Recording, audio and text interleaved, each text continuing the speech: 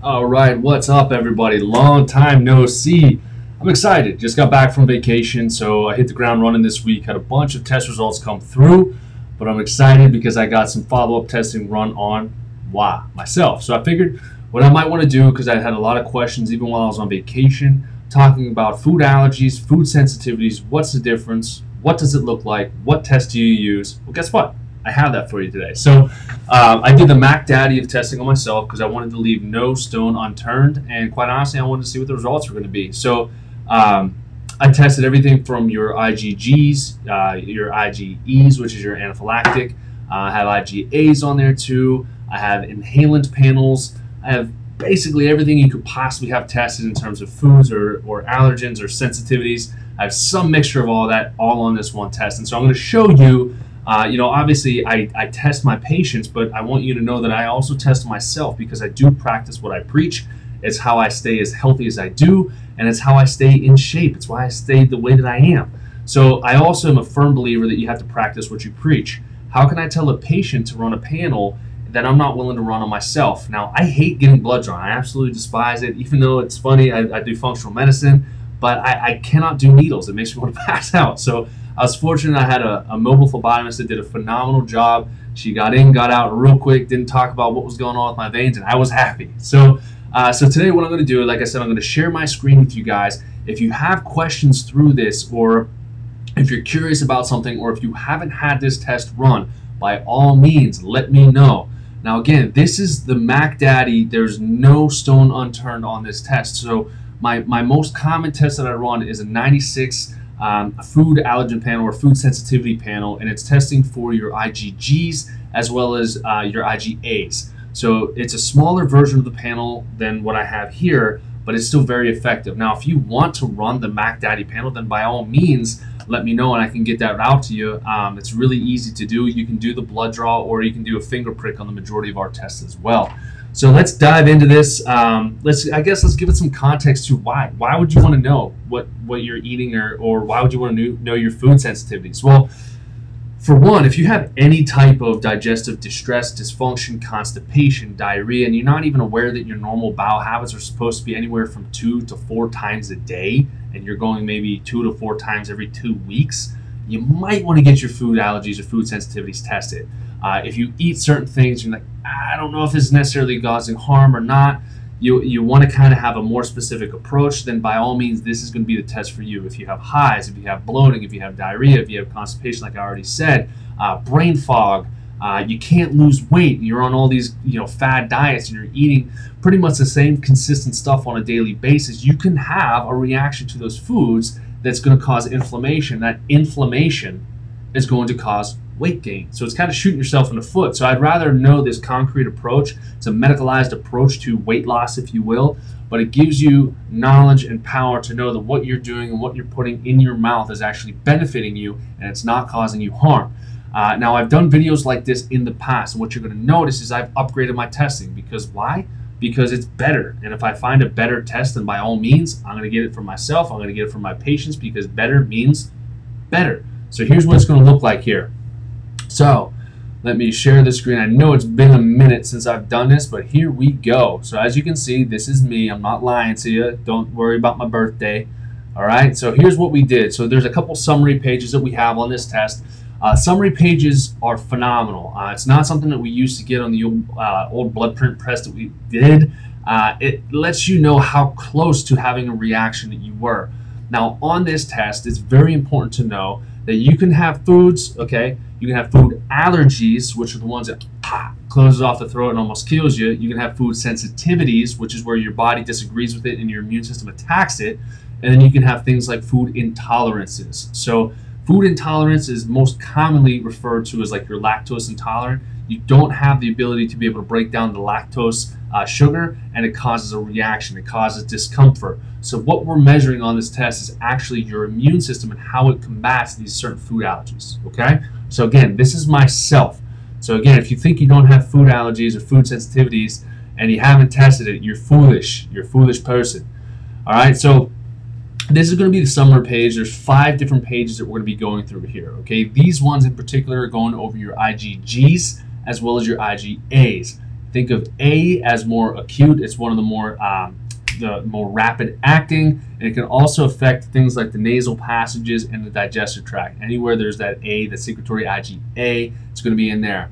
Uh, IgGs are more of like your permanent-ish delayed uh, sensitivities. It can hit you immediately, and it can hit you a little bit, you know, two, three, four days down the line. You get a headache from something that you ate on a Sunday. Then you have your IgEs, which most people would know this is which they try to do the skin prick when you're young. Uh, they try to destroy your skin and make you have a reaction that kind of sucks. Uh, but these are the ones if you have a peanut allergy, a shellfish allergy, you're typically going to know that.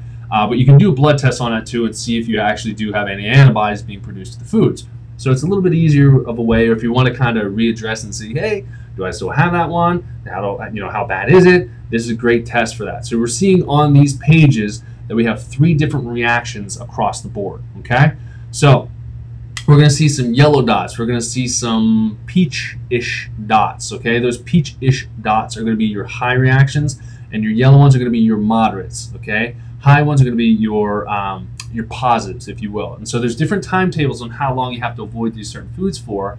Uh, if you have an IgE response, you typically don't get rid of it. Now, there has been in the past, I have worked with patients who have gotten rid of their IgEs. I still tell them be very cautious of adding them back in because you may still have some hidden antibodies that are ready to express themselves. And unfortunately, when we do this time and time again, it's like throwing more and more antibodies into a bucket, and all of a sudden, boom, spills over. You get that reaction of, holy cow, this hasn't happened for years, and all of a sudden, it comes out of nowhere and hits you again. So I don't want that to happen to y'all. So so be aware of that if you have an IgE or if you've worked with me and you've gotten rid of it, just remember, try not to throw it in heavy duty. You can do it every now and then, but it's very rare that it will um, go away. And if it does, you want to respect that as, as what it is.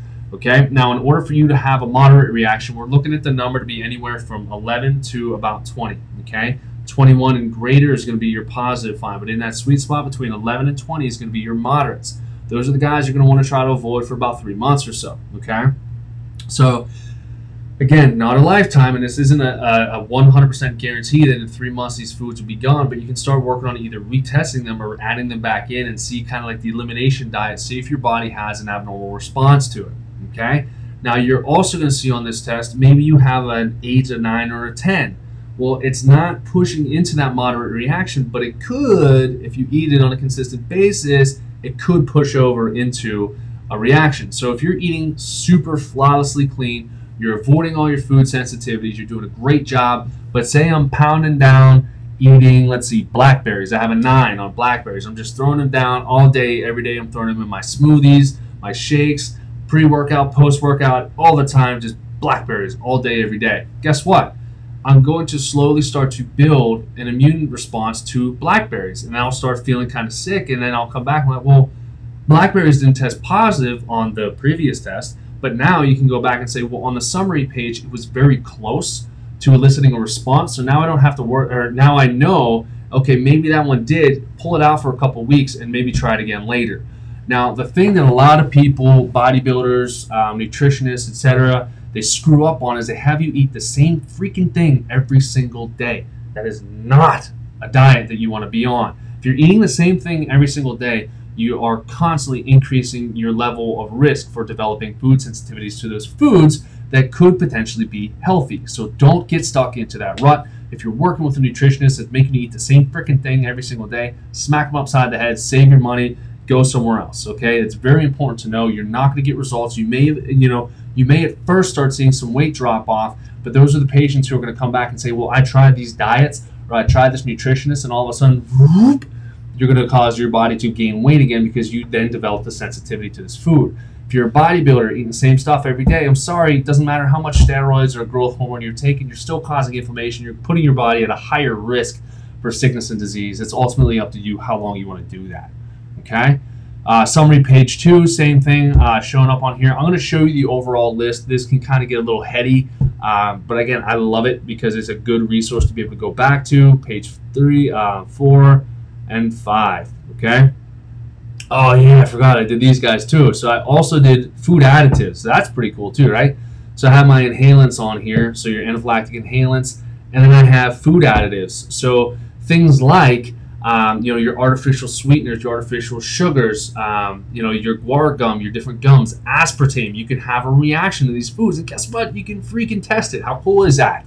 Uh, not only do you know that those things are bad for you just in general, but, but at the same time, you can test it and it can confirm, yes, I have a negative reaction to that. Like for this, I have a negative reaction to, uh, what's this one? Food additive. I don't even know what deltamethrin is, uh, but that's one I can't do. And then blue number two. So if I had something, uh, maybe in the past, like a Gatorade or something, and had that particular one in it, guess what? I have an, an immune response to it. So if I drink it, it's going to cause inflammation and it's going to cause more harm than anything else. Okay. So let's go through. So this is how this test uh, typically looks here. So it's testing for my anaphylactics on this page. These are your IgEs. So it goes in the dairy category, the fish category, shellfish, mollusks. Uh, I love saying that word for some reason. Uh, your gluten-containing grains, your gluten-free grains, uh, your legumes, your meats. You can test that out there too. Miscellaneous. Um, really cool. You can get your hops in there too. So I'm from Pittsburgh, so if I had a high reaction to hops, then I better stay away from some beers. Same thing with yeast. Um, coming down, nuts, spices, seeds, nightshades, uh, fruits. So vegetables and animal dander. So good thing I have a dog. I used to have two. Unfortunately, we put the one down. But fortunately, I don't have a, a reaction to my puppy. My, well, not puppy. She's like 11 years old, but I love that dog, so I don't have to get rid of her. Yay! Um, mold. Okay, so mold, so mycotoxins, mold toxins. So you can have not only just mold exposure, but then if you have mold exposure compounded with mold uh, anaphylactic or yeah anaphylactic bodies, guess what? You're gonna have a really rough day if you go into any buildings that have these particular mold spores in them. Okay. All right, then your grass is here too. So Kentucky bluegrass is one of the most common uh, in PA. At least I know my dad has in his backyard. It looks fantastic, but if you have a reaction to it, then ah, it's not the best for you. Uh, even tested against cockroaches, uh, mites, trees, and shrubs, and all kinds of goodies. Okay, didn't have any negative reactions to those, which was great. I didn't think that I would, but it was great. You know. Uh, and here's this guy right here. So if this was my normal 96 panel and I had this amount on that panel, I'd be very concerned for the patient. But with the amount of foods that I tested, this is a very, very, very, very minimal amount of positive reactions and moderate reactions in the grand scheme of things. And half of the stuff, it's going to be very easy for me to avoid. So what's that look like? I don't. I'll be honest with you. I don't know what a grapevine snail is. I don't know when I would have eaten that. Uh, blue mussels. Maybe there was just a mussels just to begin with. Turmeric. So I cannot have turmeric. That's funny, right? Because if I have turmeric, turmeric is anti-inflammatory. Not for me. If I have turmeric, what's it going to do to me? It's going to cause inflammation in my body and that turmeric is not going to be combating it, it's just going to be adding to it. So turmeric is not good for this individual right here. It's great for your, you know your herbs. then your positive finds here, my vegetables, seaweed. Oh no, sushi. Ow, right? Because I can't do I can't do seaweed. So seaweed, most most sushi rolls are wrapped in seaweed, so I can't do that myself. Sucks. I love sushi, but it'll allow me to avoid one of my other sensitivities, which is going to be rice.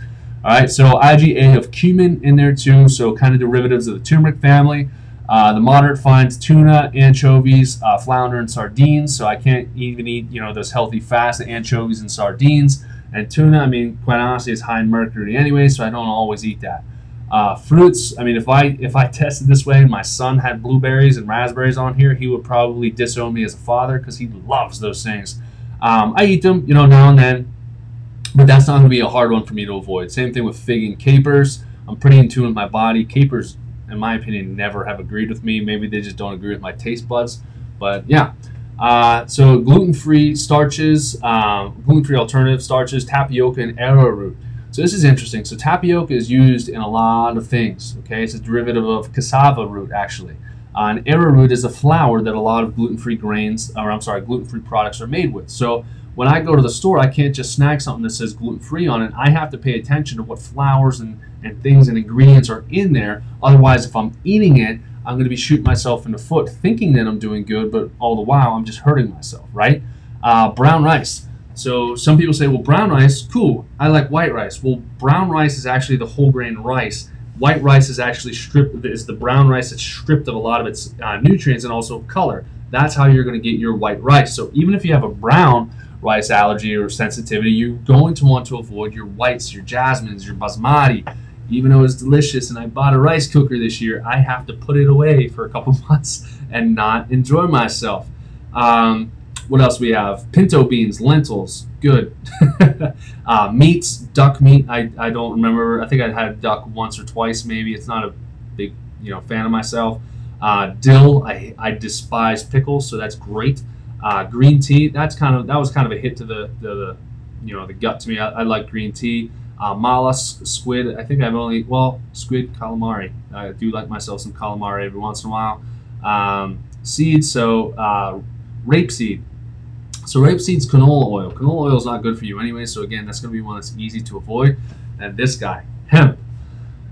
That sucks. So a lot of CBD oil are hemp derived. Um, so if they're hemp derived, I can't benefit from that CBD oil. So there are um, coconut oil alternatives or MCT oil alternatives that I can use. But if it is a hemp-based CBD oil, then I can't I can't do it. Uh, shellfish, lobster, shrimp, and crayfish. I'm going to be going to Maine in August, so I can't have myself some lobster. Shrimp I was eating for a little while, and then I joked around having a crawfish boil. Well, I'm not going to be doing that this year because I have a reaction to it. Uh, vegetables, so carrots, romaine lettuce, that crushes a lot of salads for me. Shiitake mushrooms and shallots. And then last one on the, the shellfish side of things, it's very shellfish review, is crab. So I can't do crab. So a lot of my seafoods, um, you know, fish, seafood, some fruits on there. Uh, really, ultimately, it's not going to be that devastating to me to avoid these foods. Like I said, we we tested so many fruits and vegetables. You can see it in a negative category over on here, and to just have this small amount really is not the end of the world to me. So I'm not too concerned. Okay. Uh, going on here, here's the sensitivities again. Just another way to take a look at them. Just makes it so easy. So this is cool too. It tells you where you can find this, some precautions commonly found in, hidden sources, etc. Um, I didn't know this uh, until my wife told me is that this was a while ago, but red wine, a lot of red wine is run through. What's going on here? Whoa. Let's see this again. Hmm. There you go. So a lot of red wine is run through uh, egg whites to extract the sediment. So you need to have vegan red wine if you have an egg allergy, which is kind of again a, a kick in the butt. Uh, hidden sources of lobster. It's not really that hard uh, to find lobster, but yeah, going the whole way through here, going, going, going. Um, now, the other thing that I kind of mentioned here, and I, and I breezed past it as I'm going down here, is that it said that I shouldn't be having, or I didn't say that I shouldn't be having dairy. Now, I don't have a reaction to wheat. I don't have a reaction to dairy. Yay, I used to have a really bad reaction. However, there's certain things that we test, even though it's on this list, there are healthy things that can be on here. And then there's also going to be things like your, um, so you have your healthy things, and then you're going to have your things like gluten, uh, your gluten grains, and you're also going to have things like your dairy. Just because I don't have an immune response to them, they do still cause inflammation in the body, not just mine, they have a tendency to cause inflammation. So therefore, I will still continue to avoid those because I know if I'm trying to be healthy, I cannot put things into my body that are unhealthy. That's like saying I didn't test for a Big Mac on here. So if I if I didn't have a reaction to Big Mac, I'm gonna go down the street and get one. That would be foolish. So you don't want to get stuck in that as well. Okay. Uh, so lecithin. So this is a couple of the ones, the food additives that are in here. So where do you find these things? So so egg, uh, lecithin, so from egg, a lot of times it's soy lecithin, but egg, um, it's going to be a portion of this guy here, blue number two or indigo blue. Um, it's uh, food coloring that you can find. Uh, in capsules, um, and then dye, blah blah blah. Yeah, kidney test and detrol is an insecticide, so that's cool. Um, I don't really want that anyways uh, in my body. And then this is just te- testing through, so fluoride, nickel, titanium lecithin, polysorbates, um, what else here? Ammonia, uh, MSG, two different types of MSG in there. Um, like other blues, reds, annatto, beta carotene, um, other blues again. Brilliant black, I never heard of that one, but that's a cool sounding one. Uh, greens, reds, yellows, um, beta glucan. So carrageenan is on there. I don't have a reaction to that. That's kind of cool. Um, going through cottonseed, guar gum just again giving you a kind of an idea. Mastic gum um, or mastica is is uh, another one that I can get away with. Xanthan gum. So again, it's just these things that are allowing you to know that I can get away with eating these if I want to, but there are certain ones that I would definitely not put in my body, uh, especially the artificial colorings. And then you're you're these guys over here, your ACE K, uh, acesulfame um, K or acesulfame potassium cause your brain uh, to have damage. Aspartame, same thing, not going to be a good one. Saccharin, but I can have stevia if I wanted to. Xylitol is okay with me. Sucralose is terrible. Uh, I would never have that anyways. But I was also borderline one. To test it tested almost high to 7.7 here. So again, just continue to go through this test. But ultimately, the thing here, the big picture, the, the overall thing here, is that at the end of the day, what we're dealing with is a record high level, in my opinion, of food sensitivities and things that are going on in the body. Now, when we're having, um, let me see here.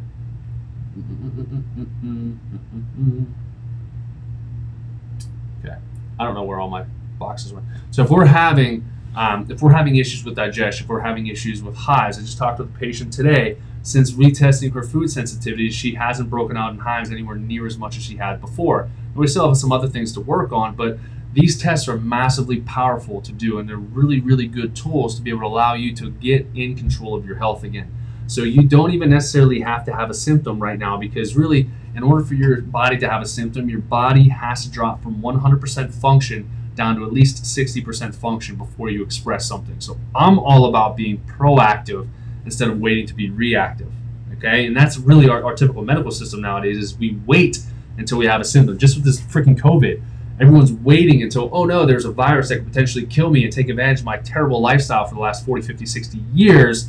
Now what? Versus now in my 30s, I can be able to make sure that every single year of my life I'm getting healthier and healthier and healthier and researching more and more and more so that way I can benefit myself, benefit my wife, my children, and my patients, anybody that I come across, I will then have the knowledge ability and power to not only have done it myself, but to be able to properly coach you through the same exact thing.